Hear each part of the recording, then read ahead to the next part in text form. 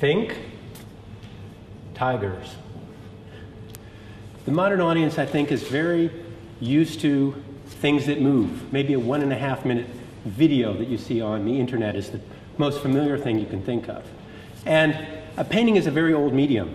For example, a painting doesn't move. Um, it's one of the only art forms that has no sense of time. The painting is the same today as it will be in a few hundred years. Music changes very quickly, even a sentence of writing does. A painting has no exploding bus. There's no celebrities. There's no, um, there's no fire. It's, uh, it stays still. And the modern audience isn't really familiar with looking at a painting. One of the things that's very important about a painting, and it's something that I feel is important for an artist, it's a medium. It's one choice of a way to communicate with people. And you'll find this with a lot of artists, is the artist has a responsibility at some point to draw attention to important issues. Um, the artist's job is very limited, though. An artist is like a journalist. The artist doesn't tell you what to think, but rather says, This is what I saw. If you think, for example, of, of Goya, the disasters of war, some of the pieces just said, I was here. And one thing that's happening right now where we're having a glass of wine and, and wondering what's going to happen with the Diamond Jubilee and you know, having a chat, um, tigers are going extinct. There are only 3,200 tigers left in the wild. There are only 10,000 tigers in captivity, and those tigers can't be put back to the wild. There are more tigers in Texas, in the United States today, than there are in all of the wild combined. And the question you would ask is, how come you never hear about this? How many people here heard that there's problems with the tigers? You heard about the beluga sturgeon, because that's going to affect your caviar. Or you heard about the bluefin tuna, because that's going to affect your sushi. But did you really hear about the tiger? Well, the tiger has two main enemies. Very simple. One is that the tiger is losing habitat. And if you look at a map of the world, wherever people live, tigers do not. When there was the ivory crisis and African elephants population started to decline, if you look at a map, you'll notice as elephants have smaller and smaller areas to live and people take up more areas. And of course, there's an overlap. At some point, every area has a border or a boundary where people and the animals need to interact. Um, the second main enemy of a tiger today is what's called traditional Chinese medicine. And the bodies of tigers are actually captured locally. The tigers are ground up and made into powders, and they're sold for very, very high prices. Um, there's no evidence that Chinese medicine actually cures any ailment. And the analogy that it does is kind of like saying that if you eat an acorn, then you'll grow as tall as a tree. Now you're probably asking the question, why am I painting tigers? Um, and this actually started a long time ago when I studied at the Slade here at UCL. I was very interested in, uh, I had just come back from an African uh, project doing heat balance for elephants. I just wanted to do something interesting after college. And at UCL, I decided to take some courses. So I took a diversity, diversity of vertebrates course. I wrote about the origin of the elephant's trunk and uh, went to the Regent's Park Zoo and traveled a lot. And that was sort of the basis of some of my interest in animals with backbones. Um, people are a lot like any animal that has a backbone. I thought if I'm going to understand as a student how to ever have a backbone myself, I should know something about things with backbones.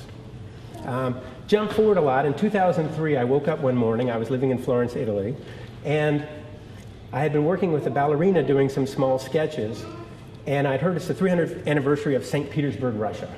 And I just woke up one morning and I said, I love Florence, but I'm going to move to Russia and paint ballerinas. And I went and met a man named Leonid Nadirov, who was in charge of the academy. And I came up to him and I said, Oh, hi, I just came from Florence and I want to paint ballerinas.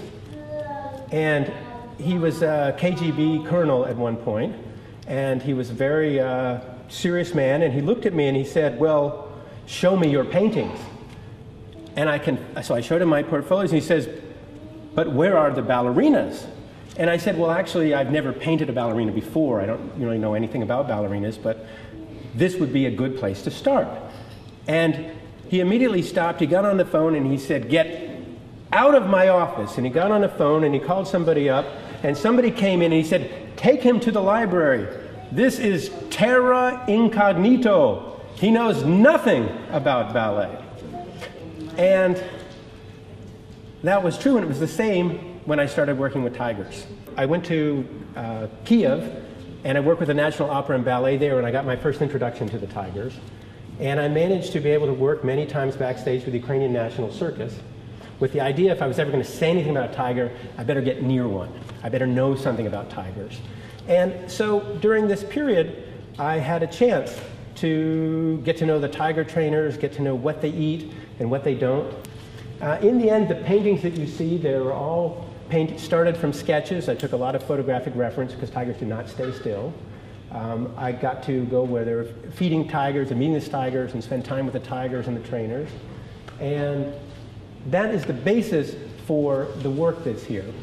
If you have a chance to look at the paintings upstairs, some of them are in an installation called Nudo e Crudo, which Italians will know means raw and naked.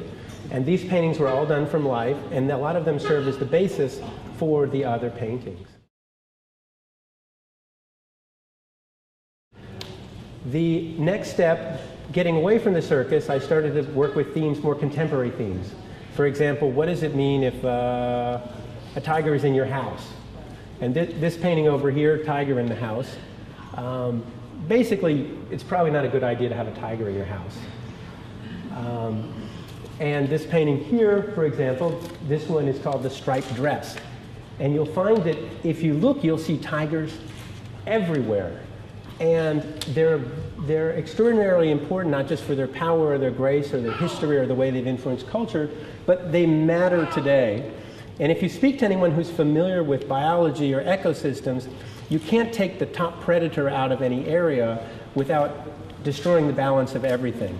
And the reason to protect the tiger is that the tiger is actually in place to keep everything in equilibrium. And I would guess everyone in this room has a, a, a tiger within them somewhere. Um, you may have a family member who drinks too much, someone who uses drugs, someone who gambles, somebody who is trying to uh, uh, come to terms with some interior force which is very powerful and very beautiful and very dangerous. So I, I think the main thing that I would like you to do, just to have stopped for a moment and actually take a moment, I appreciate very much you listening to me because I don't have an exploding bus or something else to get your attention really. That to think about tigers and some point talk to somebody you know or look up tigers or mention tigers and participate somehow in protecting tigers.